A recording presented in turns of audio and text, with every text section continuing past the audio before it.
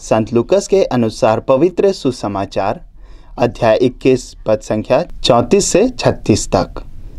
सावधान रहो, कहीं ऐसा ना हो कि भोग विलास, नशे और इस संसार की चिंताओं से तुम्हारा मन कुंठित हो जाए और वह दिन फंदे की तरह अचानक तुम पर आ गिरे, क्योंकि वह दिन समस्त पृथ्वी के सभी निवासियों पर आग पड़ेगा। इसलिए जागते रहो और सब समय प्रार्थना करते रहो, जिससे तुम इन सब आने वाले संकटों से बचने और भरोसे के साथ मानव पुत्र के सामने खड़े होने योग्य बन जाओ।